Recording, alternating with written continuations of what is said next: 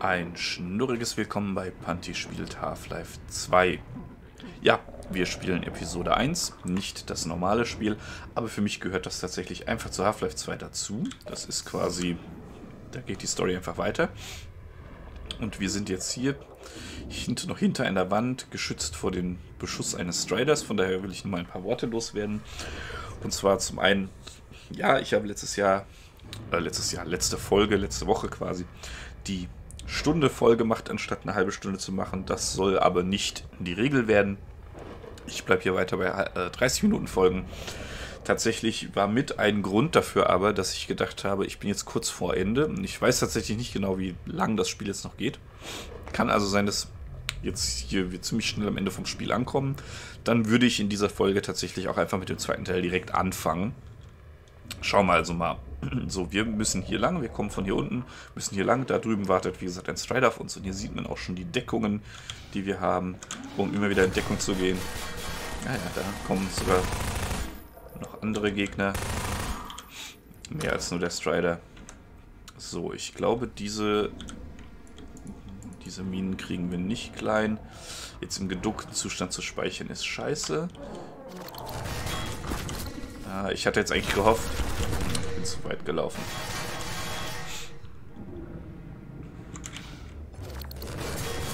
Ich habe gerade... Ja. Nein, tatsächlich war das, äh, war das jetzt nicht irgendwie Blödheit, dass ich weitergelaufen bin, sondern eigentlich wollte ich rennen und gucken, ob ich an der Mine vorbeirennen kann, bevor sie hochhüpft.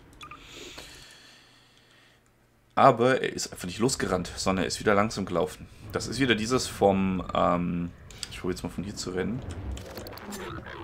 Ja, das funktioniert. Ja, ja.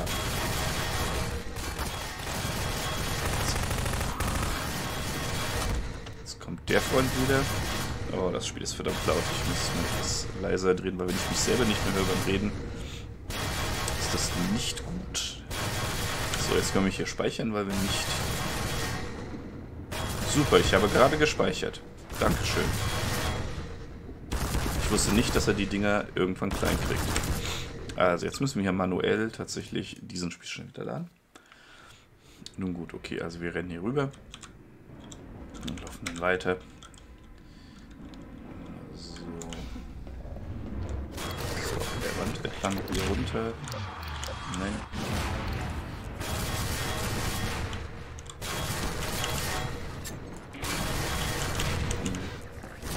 Hier runter, dahin. So, das ist schon viel besser.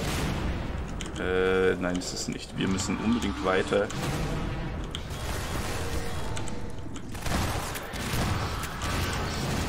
So. Das Spiel zwingt uns hier also unbedingt weiter zu gehen. Wie man sieht. Das habe ich nicht mitgekriegt, dass hier eine Mine war. Okay, nochmal laden.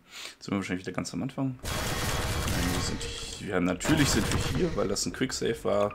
Lädt der Quickload natürlich auch das, aber ja, wir sind ganz am Anfang. Also jetzt werde ich das durchziehen und nicht viel dabei reden, weil ich mich aufs Spiel konzentrieren muss. Ansonsten passiert wieder so ein Mist wie eben.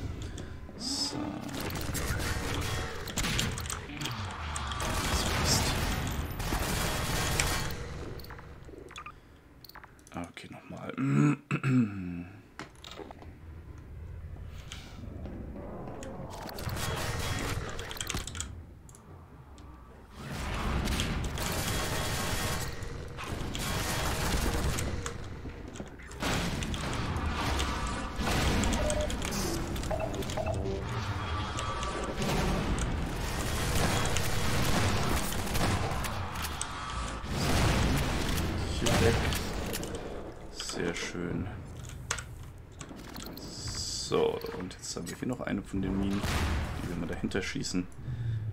Und dann holen wir uns erstmal den ganzen Kram, der hier liegt. So, so da hinten ist noch eine Suit-Energie. Kommst du her, so. Und dann können wir hier einmal den da machen. So, wir wissen schon, dass der Strider da nur noch wartet, uns abzuballern. Okay, da ist Holz. Das bedeutet, der kann da Der kann da durchschießen, wenn er uns sieht.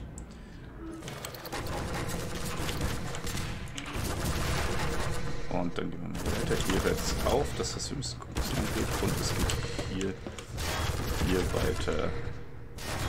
So, in Deckung gehen.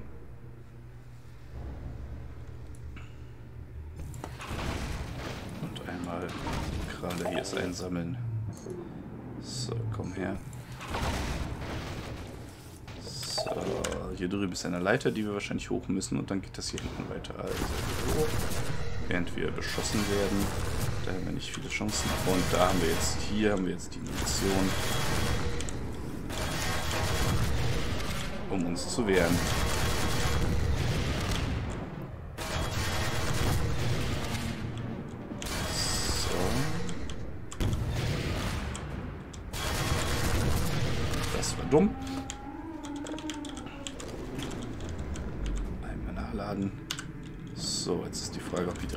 Nachfolger kommt. Sieht nicht so aus. Gut, dann gucken wir mal. Hier unten. Wir wollen ja keine Schmerzen. Wir haben schon genug davon.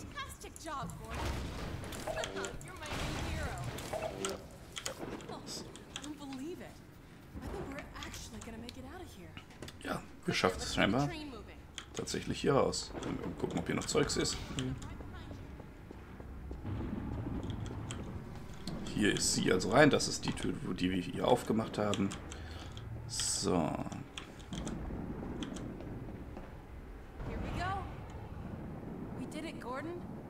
Irgendwie kann ich es kaum glauben. Das soll es gewesen sein. Wir haben es geschafft. ich spreche mal. Das hast du schon gesagt, Alex. Vielleicht war das jetzt ein, ein... Ja doch, du hast recht. Wir haben es wirklich geschafft in den Tunnel. Da ist noch ein Gunship. Das stürzt auch ab. Ein Glück musste ich das nicht abschießen. Da hinten sieht man die Zitadelle. Und hier wird die Nachricht gesendet, nehme ich mal an. Das haben wir also nicht verhindern können. Oh ja.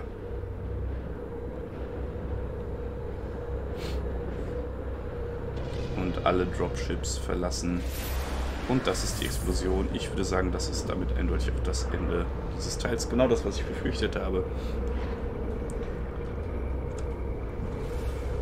Ich hoffe, der Zug ist schneller als die Explosion.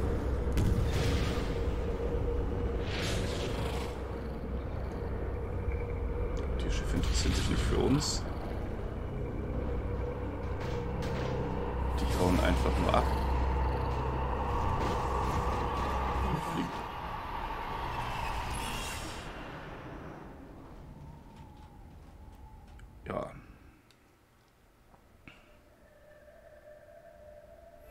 Das war's. Genau das, was ich befürchtet hatte. Ich hätte tatsächlich eben schnell noch die paar Minuten weiterspielen sollen. Ich war mir aber unklar, ob jetzt nicht doch noch was Größeres kommt. Und dann hätte ich aus der eine Stunde vielleicht zwei gemacht. Also, das ist Half-Life 2 Episode 1 und wir machen jetzt gleich weiter mit Half-Life 2 Episode 2, nachdem hier der Abspann zu Ende ist. Schließlich wollen wir zumindest die ganzen Leute, da ist wieder Gabe Newell, die ganzen Leute ehren, die hier an dem Spiel mitgearbeitet haben. Auch wenn die Half-Life-Reihe tatsächlich, hier kommen übrigens die Sprecher, wenn die Half-Life-Reihe tatsächlich ein bisschen Frust auslöst bei den Fans, weil, ja, weil tatsächlich die, ähm, der dritte Teil nie rauskam. Weder von, von Half-Life 2 Episode X noch eben ein Half-Life 3. Stattdessen kam eben dann Portal und Portal 2 raus. Und ähm, irgendwie nie wirklich eine Fortsetzung dieser Geschichte. Bis vor kurzem, und was ja der Grund war, warum ich hier anfange, das ist nämlich Half-Life Alex, was ich besitze, und ich werde, sobald das hier alles aufgenommen ist, das heißt, noch bevor ihr, hier sind wir wieder im Hauptmenü, noch bevor ihr quasi das Ende wahrscheinlich von Half-Life 1 seht oder gesehen habt, wenn ihr das hier seht, ist das nämlich alles schon lang raus, äh, werde ich Alex anfangen zu spielen und das tatsächlich dann auf Englisch und auch sofort veröffentlichen. So, ich pausiere jetzt eben hier die Aufnahme und schalte das Spiel um nach Half-Life 2 Episode 2. Der Grund, warum ich jetzt nicht live umschalte übrigens, ist, dass mein OBS ein bisschen braucht, bis er anfängt, ähm, das Bild zu sehen vom Spiel. Das bedeutet, die, die Logos am Anfang, gerade das schöne Valve-Logo mit dem Kopf, mit dem, äh, mit dem, äh, ja, Valve-Rad. Jetzt fällt mir tatsächlich nicht ein, was Valve auf Deutsch heißt. Mit dem Ventilrad, da haben wir es doch ähm, äh, im Hinterkopf. Ähm, das sieht man eben nicht. Erst danach ähm, kriegt OBS das Spielfenster mit und aufgezeichnet. Von daher habe ich das immer weggelassen. Es wäre schade, ich hätte gerne das Let's Play gestartet mit den äh, Logos im Endeffekt. Aber gut, ich mache jetzt hier eben schnell bei der Aufnahme Pause, wechsle das, tausche das Spiel und dann sehen wir uns also jetzt für euch in einer Sekunde oder so wieder. So, und hier sind wir bei Half-Life 2 Episode 2 im Hauptmenü. Ich habe eben gerade noch die Auflösung hochgedreht, so dass es auch nach was aussieht. Und dann wollen wir doch mal das Spiel anfangen. Wie man sieht, ich habe das natürlich auch schon einmal gespielt. So. Die Spiele natürlich damals schon durchgespielt, als sie rauskamen.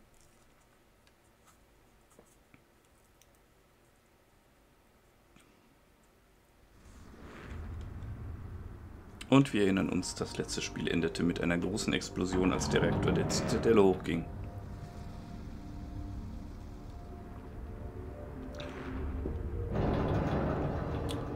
Und wir finden uns hier in diesem, in dem Zug wieder interessanterweise. Wir waren hier eben noch draußen. Gut, schauen wir mal, die Tür kriegen wir nicht auf.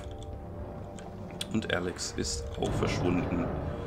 Unsere Gravity Gun ist weg. Wir haben kaum noch Lebensenergie. Ja, das heißt, wir haben Lebensenergie verloren. Wir haben keine Anzugsenergie mehr. Aber wir können hier ein paar Köfferchen herumwerfen. So, ist vielleicht keine gute Idee.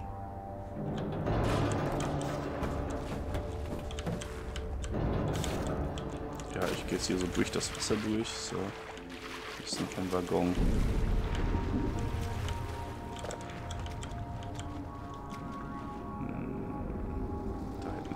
Gravity Gun. Kann ich hier raus? Ah, da steht Alex und guckt.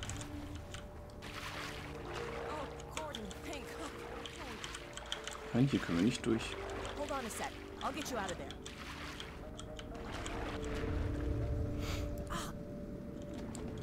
Ja, das Besondere quasi, oder was das Interessante an diesen Spielen war, eben, dass wir ein bisschen auch auf Hilfe von anderen angewiesen sind. Und zwar nicht nur um, wenn sie öffnet uns jetzt irgendwie nicht nur um Türen zu öffnen, sie macht ja mehr Dinge, sie reißt hier die Tür zum Beispiel weg. Ja. Ja, mein Anzug kompensiert den Kick. I know, I know. I shouldn't have worried. Well, we should keep moving. I'm sure the Combine haven't forgotten about us. I heard Vortigons a few minutes ago. Maybe hm. they're still around. Das wäre praktisch. We've got a long way to go to find my dad. It'd be nice to have some extra help. Übrigens, ähm, ich habe das jetzt schon im, im normalen Half-Life 2 so bemerkt. Sie hat ja hier dieses äh, dieses Halsband mit diesem Ding. Ich hoffe, dass in Half-Life Alex rauskommt, was das ist und was das soll. Das ist mir tatsächlich vorher nicht aufgefallen, würde mich sogar nicht wundern, wenn sie das nachträglich eingebaut haben. Aber ich habe da nie drauf geachtet. Ich habe mich, was Half-Life Alex angeht, übrigens nicht gespoilt. Ich habe angefangen zu spielen und ganz, ganz am Anfang, bevor die eigentliche Story sozusagen losgeht, entschieden, dass ich das aufnehmen werde. Und von daher mich nicht gespoilt. Das heißt, da ist es dann ernsthaft das ist meine Reaktion quasi auf das Spiel, das ich noch nicht kenne. So, schauen wir mal, was wir hier hinten haben. Okay, ein Waggon. Eine Dose. So. Dann schauen wir mal hier auf der Seite. Aber tatsächlich ist es auch bei den Spielen so, dass ich mich nicht mehr daran erinnere was hier los war. In den Weißen Wald. Hier sieht man die zerstörte Zitadelle. Alex rennt auch sofort hin, dass wir oh auch gucken.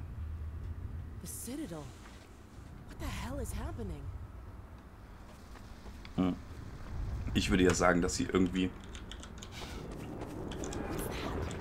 irgendwie Energie hier rein aus dem Reaktor der Zitadelle da oben reingeht.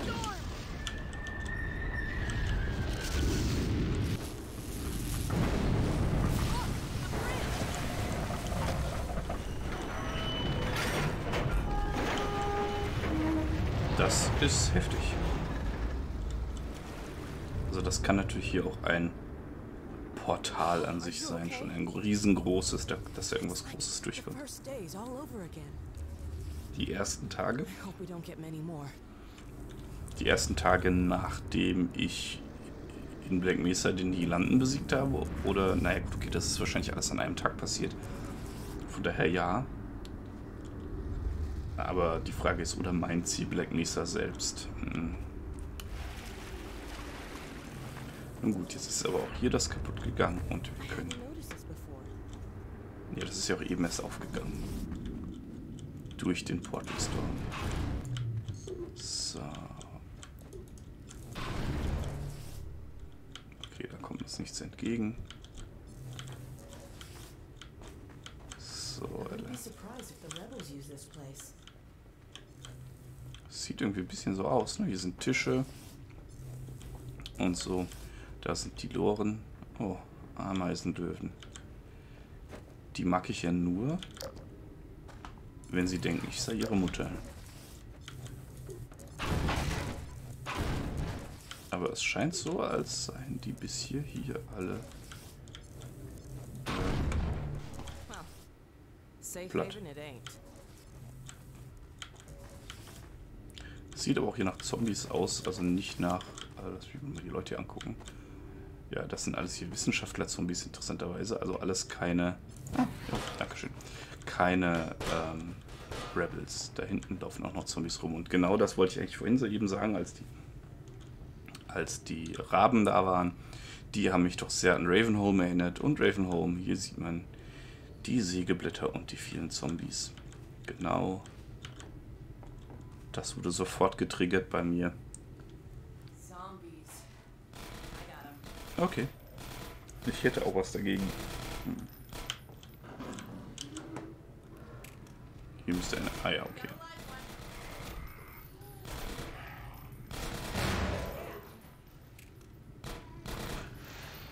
So, dann warten wir eben mal. Da schießt es auf, der, auf der Leiche rum. Guck mal, ja gut, okay, dann stehen sie nicht mehr so schön in der Linie.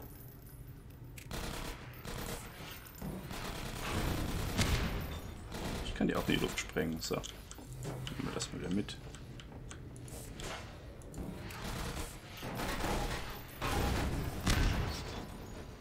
Wow. Die sind ziemlich robust hier.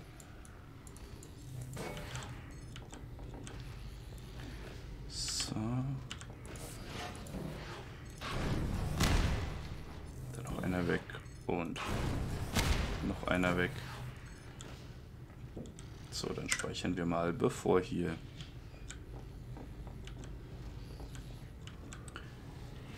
der Kampf losgeht und uns involviert.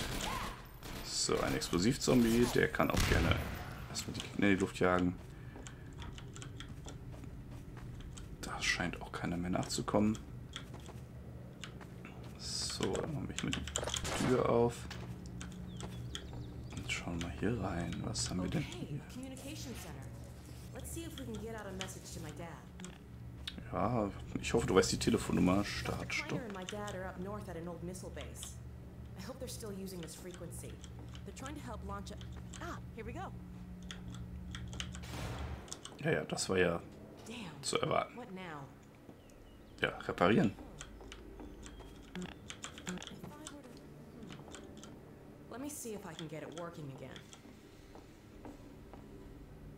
Also hier sind ja die... Ich bin mir sicher, hier fehlt noch ein dritter Stecker oder so. Energie. Da ist auch durchgeschmolzen.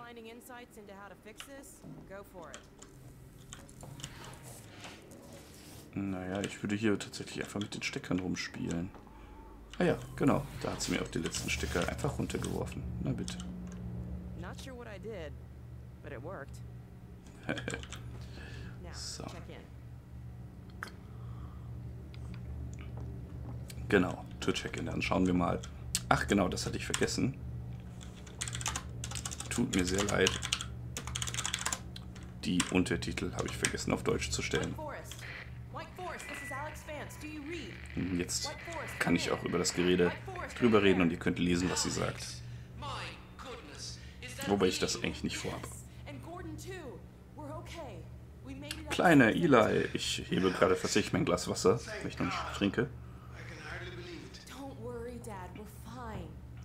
Um ihn zuzuprosten. Oh, yes. We've been monitoring the situation. The raw discharge of the meltdown has been focused into a coherent beam of portal energy. It's the Combine.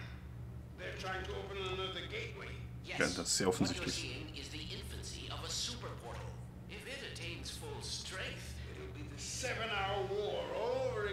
Sieben Stunden This Krieg. time we won't seven minutes. My God. Gordon, what if that's why they were sending so much data from the Citadel? So that data from the Citadel? in the control room, they were feeding huge volumes of data directly into the core destruction sequence. Magnuson, did you hear that? I'll bet it's the Combine portal code. Yes, mm-hmm. yes, I'm not deaf. I downloaded the whole packet. They've been chasing us ever since. Well, of course they have. You see, Kleiner, it's the linchpin of all of their plans. Well, I can see that. I never said. Somewhere in that sequence, they would have had to establish a connection with the far side. What you have there, young lady, is the specific contact code for the Combine overworld. Good God. If I'm right mm-hmm. about this, and I have no reason to doubt myself, you are carrying the very code Dr. Mossman had hoped to recover. Now, how soon can you get here? Well, we'll have to get our bearings, but we can There definitely. is no time to waste. We'll need to step up the launch schedule. And now, as soon as you Launch? get here with the signature data, Welcher Start? Und was war der thing into orbit. Sieben-Stunden-Krieg? Ich habe hier einiges nicht mitgekriegt.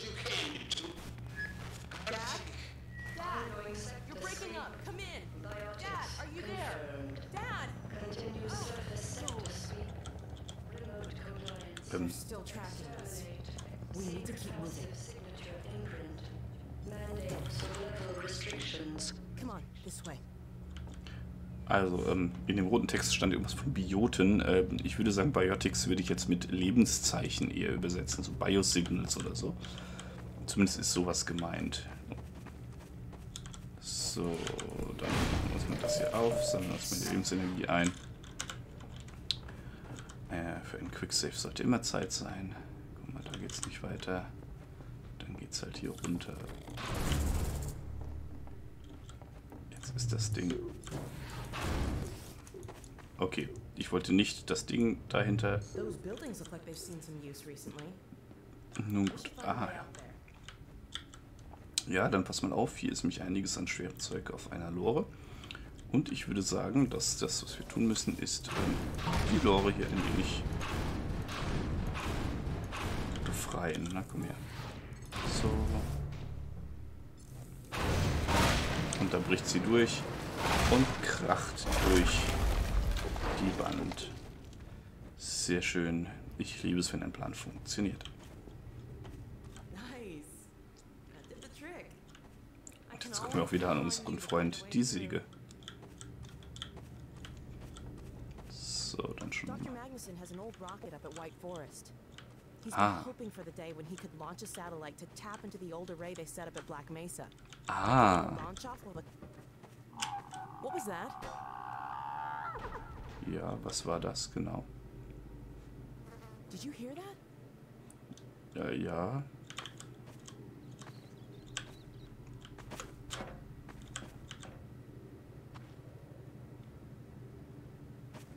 Und ich habe keine Waffen.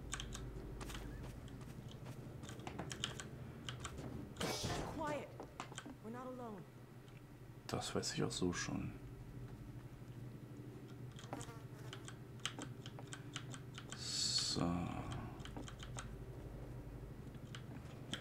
Ich gehe mal hier übers Dach.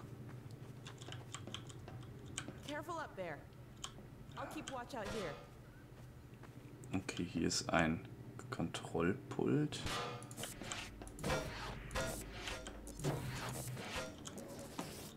Gucken wir mal hier rein. Also hier haben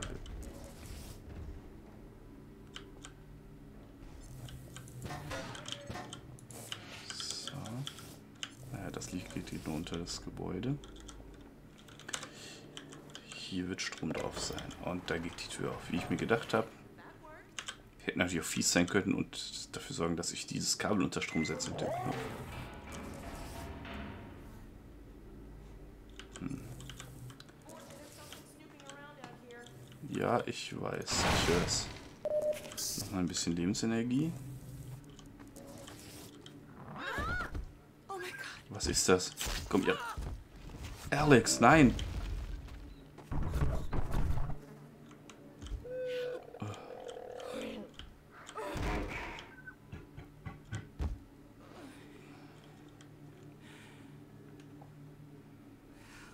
Wir haben sie nicht beschützen können.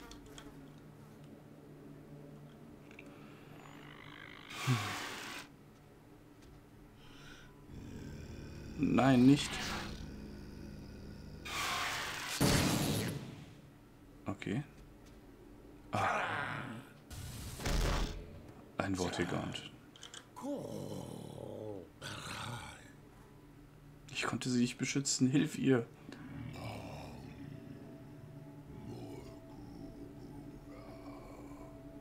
Wir wissen ja schon, dass die Vortigans Heilfähigkeiten haben. Alex Vance, what harm has come?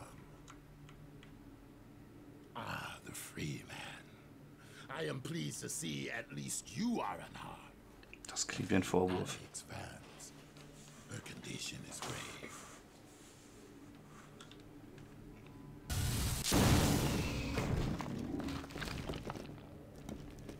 Ah, danke. Can conjure. Let me summon my kin.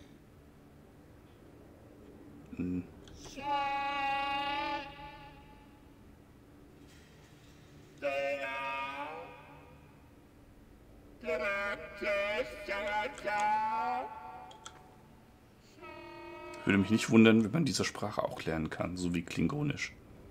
My kin will meet us at a sheltered location beneath the surface. Vorsichtig. must move her there quickly. I will stabilize her if the free man will provide us with protection. Ich kann es versuchen. Ich habe es bei ihr schon nicht geschafft. Let us hurry, free man. Ja, Help awaits us in the mines. lasst uns beeilen in den Minen.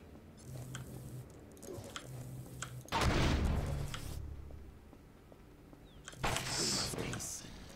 Her state is delicate. Die scheinen sich gar nicht für uns zu interessieren.